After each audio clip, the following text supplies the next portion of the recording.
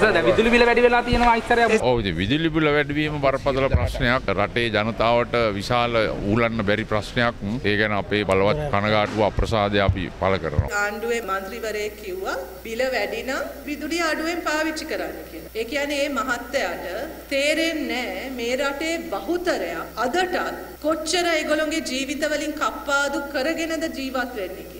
තව මොනවද අපි කප්පාදු කරන්නේ? එහෙම අයට තවදුරටත් අපිව පාලනය කරන්න ඉඩ දෙන්න බෑ.